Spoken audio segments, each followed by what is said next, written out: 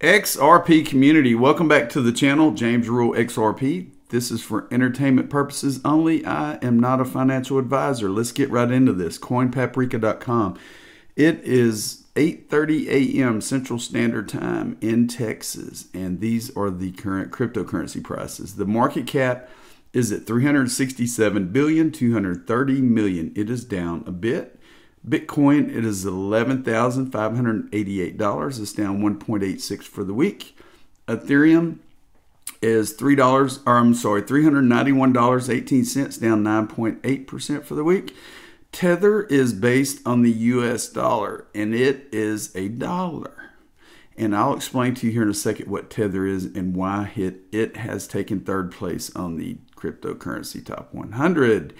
XRP is at 28 cents. It's down 5% for the week. And let's take a look at Tether. Tether, what is Tether? And I'm going to leave a link in the description below of this video. Uh, what is Tether?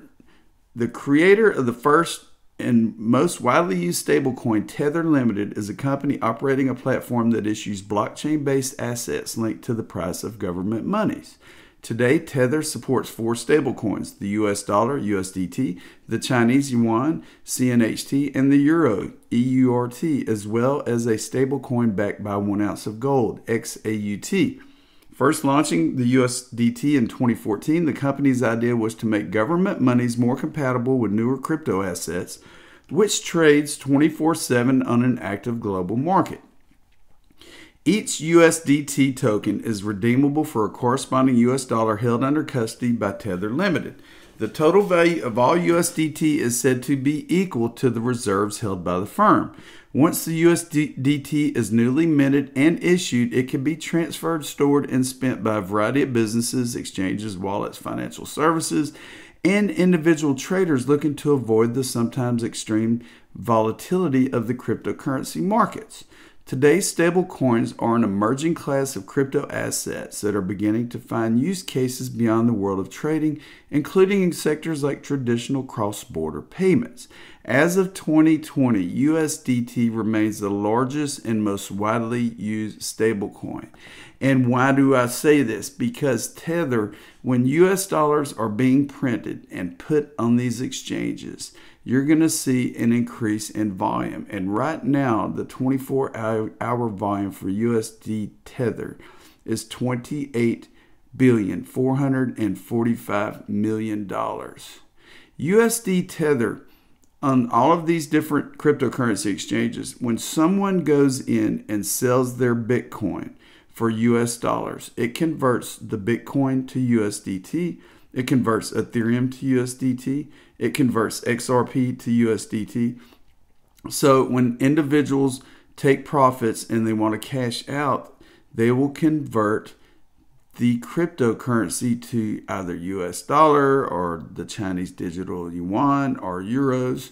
And that is the reason you are seeing Tether at number three right now. We are in hard times, people, with this pandemic and this virus and everything going on people unfortunately are having to sell their cryptocurrency bags just to make ends meet. So don't panic when you see Tether number three on any of the like Coin Paprika or any of the charts. Do not fear because it is just saying that the US dollar is being utilized more for these purposes for cash outs and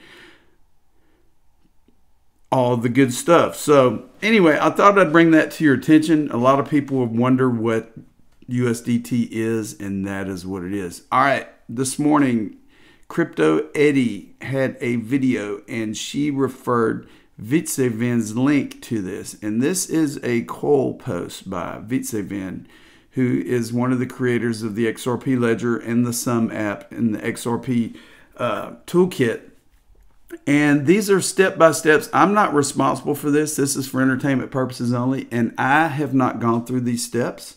I hold my XRP on the Ledger Nano X, and I have yet to go through these steps until I fully understand and read this page roughly four to five to six times. So do your own research whenever.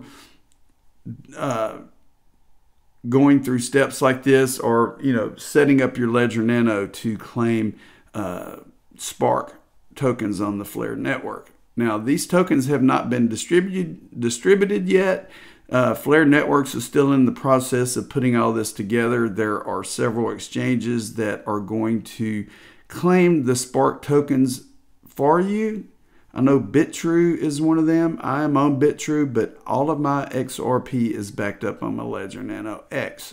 So what this is, is this is a blog that Vitseven created that shows you how you can go in and set up your Ledger Nano X, or you can use XUMM in the XRP toolkit to to set this up. But like I said before, read through this. Uh, Vitseven is not affiliated with the Flare network.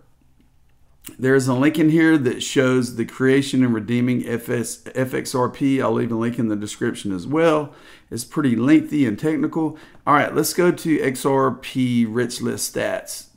Uh, this was created by Vitseven, and what it does, it shows you trends of people that are purchasing XRP, and it shows you wallet sizes based on accounts. Now, if we look at number of accounts, and you go down here and you see this 2,081,000 XRP wallets and accounts, excluding escrows. I posted a video a couple weeks ago, and the reason I brought this up is because a lot of people in the XRP community and the crypto space own more than one XRP wallet. So this number here, 2,081,000, is the number of wallets. But if you have four to five, I have eight to 10 XRP wallets. So basically, you can cut this number in half, most likely, if not more, to show you how many people in the world own XRP. This is the tip of the iceberg. Just saying, you can go in here and look at these stats and you can click on these top accounts and see who the owner of these top crypto accounts are. And at the top, you're looking at Ripple and you're looking at some cryptocurrency exchanges that hold these large volumes of XRP. And you can compare yourself to this list here to see what percentile range you are in holding XRP. Now, do your own research and don't FOMO. Don't have the fear of missing out. Don't spend your savings to get 150,000 XRP. Don't spend your savings to get 20,000 XRP. Only purchase cryptocurrency whenever funds are available. Pay your bills, take care of your family, take care of your kids, pay your insurance. Don't neglect any other thing when it comes to buying cryptocurrency. Crypto is here to stay. You are not going to miss out. Only make purchases when you can. Buy $50 worth next week, buy $25 the following week. Don't take out a loan to buy cryptocurrency. Just a little FYI, it's Saturday morning. There's really not a lot of news out there. I'm just kind of covering some of these basics and letting all the new people know that uh, this is really an exciting place to be right now.